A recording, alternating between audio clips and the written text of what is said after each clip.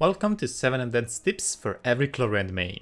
You have probably heard a thousand times how to build and play her, and at least a million times that her optimal combo is to use 3 normals into a skill. If you haven't, check out my full guide. Otherwise, let's talk about that combo. If you're pushing 3 normals into skill to its maximum potential, you should know that it's very achievable to perform it 6 times and end up with one extra normal attack in the end. Things change if you start with your burst. Doing so will want you to press your skill twice, since you already have 100% bond of life. And a good execution of skill plus skill into normals is 6 times N3E. And by the way, this combo is better when your burst is at least level 7 since the bond of life goes up with levels and it's more than 100% at that level and beyond. Her attacks also share a detail with the likes of Ayato. You don't have to spam click, you can just hold your attack button and she will continue attacking. And to add to this, you don't have to release the attack button to perform your skill. You can just keep holding it and press skill every 3 attacks. Of course, when you press your skill, you have to be close to the enemy to actually hit. So a good way that I found very comfortable to play with, that doesn't compromise on your combo, is to hold both forward movement and the attack button. Doing so will need just two inputs from you. Pressing your skill when you need to, and rotating the camera towards where you want to be, making everything just much easier. I will get into mobile and controller in a second, but for PC users, doing this will give you full control of your movement and override the auto-targeting system, at least for the skill. This enables you to move wherever you want, so if you want to use it just to avoid an attack, you will be able to do so. Of course, it is just a movement and it's not a real dodge, so you can still take damage if you get hit, but at least you won't be staggered. Another note that I have on this is that if you hold her attack button, she will not start attacking right away after being interrupted, needing you to repress it. I double checked on controller and mobile and all the things I just said apply there as well. Although for mobile users it's preferable to release your attack button between skill uses so that you can still just use two thumbs to play. So you would hold it for 3 attacks, release for skill and go hold again. Both on mobile and controller you can use the movement key just to decide where to dash or not touch it at all if you feel like the auto-targeting system will do it right for you. Let's talk about her burst now, because I don't want you guys to be stuck on one rotation only. It's not a must to use Clorinde's burst at the start of it. Yes, it allows for a combo that starts with a double skill, but there are a few things you can achieve if you instead split a rotation. In a sense, she's very similar to Alhaitham because he also has a similar playstyle. You can, for example, apply your buffs and elements on wave number 1, defeat it with just a burst, and then reapply your buffs and elements on wave 2. Now you can use Clorinde's skill for her on-field window. Clorinde's burst plus full rotation takes around 10 seconds, so generally most buffs will cover almost all of it. For reference, Viridescent Venerer last 10 seconds, but you have to take into account switching and rotations and the fact that some other buffs don't last that long. Noblesse and Instructors are 8 seconds. Sara's attack buff is 6 seconds for example. Additionally, using the burst at the start means it won't enjoy the full 20% crit rate bonus of her Ascension 4. But these are very minor adjustments that however can have a great impact if you struggle to finish a chamber in a certain time, whether this is on someone that barely clears or if you're trying to speedrun it.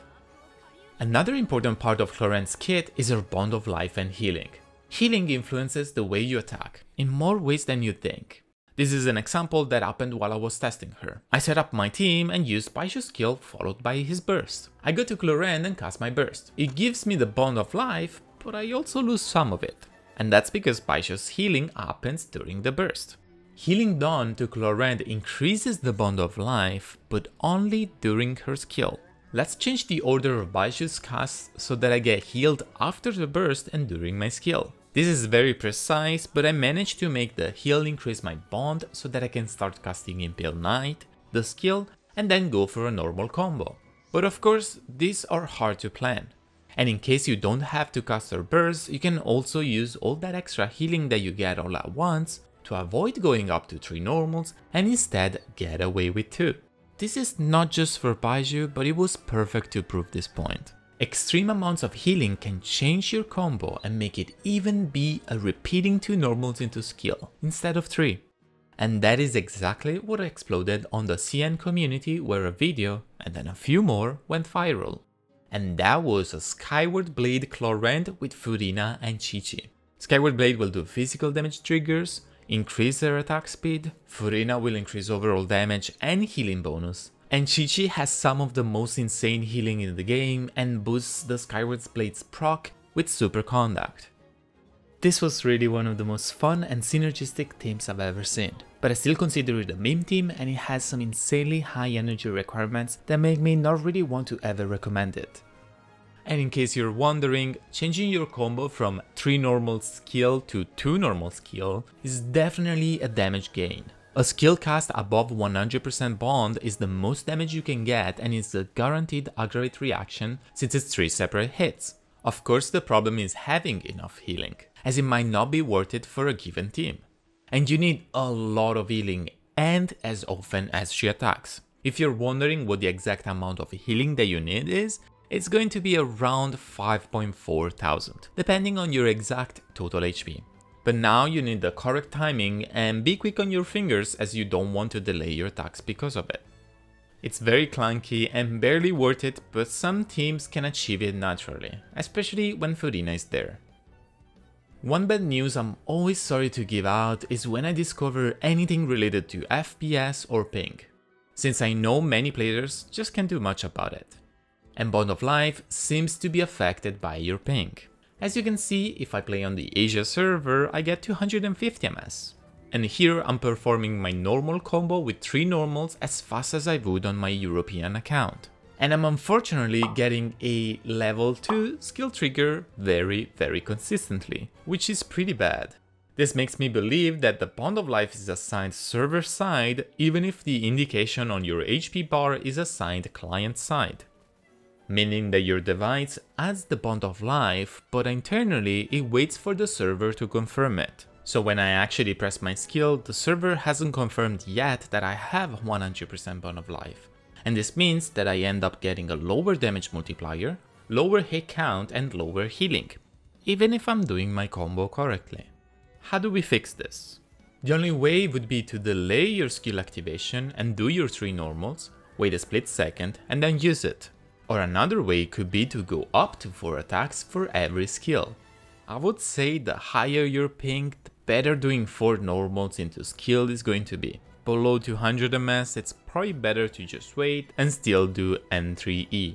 If you want to test it and you're unsure if your combo is working correctly or not, just know that the easiest way to spot a correct 100% Bond of Life skill cast is to see 3 damage hits and this animation that reminds of her splash art.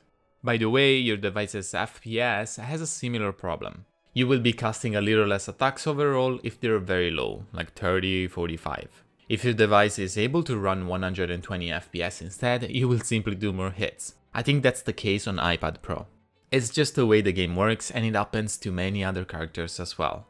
And to finish, a few rapid fire tips. Attack Sands is basically always better than Elemental Mastery unless you are in a Dendro team and Hydro is also included, but it still depends. You can spam their skill to move around and kind of climb. Certain teams can overcap her Ascension 1 with attack buffs and sometimes even a Bennett alone can. But building more attack, especially without Dendro, it's totally fine. Attack speed can be used and it's beneficial to her but doesn't change her combo, it just enables more repetitions. Her sword dash attack is a skill that does normal attack damage, it does not trigger Xingqiu's coordinated attacks, for example, but does trigger Beidou's ones. That's because Beidou is activated by normal attack damage, and not the action of attacking. C6 Clorinde with Beidou or Xingqiu is literally immune to damage, like actually, she does not take damage.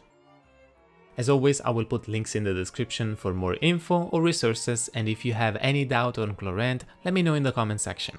Like or sub if you enjoyed and see you in the next video or during the live streams.